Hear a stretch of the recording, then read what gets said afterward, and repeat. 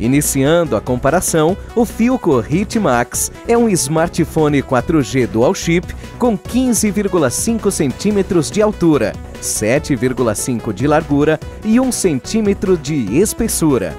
Por sua vez, o Moto G8 também é um aparelho 4G dual chip, mas com 16,1 centímetros de altura, 7,6 de largura e 0,9 de espessura. Na parte da frente, o Hitmax tem tela infinita de 6 polegadas HD Plus e a câmera frontal de 8 megapixels.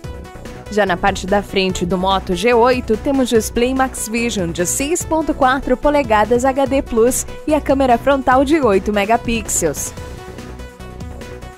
Agora, na parte traseira do Hitmax, vem o sensor de digitais e a câmera principal dupla de 12 megapixels com flash. Enquanto isso, a parte traseira do Moto G8 também traz o sensor de digitais, mas com câmera principal tripla de 16, 8 e 2 megapixels com flash. Para rodar jogos e aplicativos, o Hitmax foi lançado com sistema Android 10 e processador octa-core, junto com 4 GB de memória RAM. Já o Moto G8 também vem com Android 10 e processador octa-core ligado com 4 GB de RAM.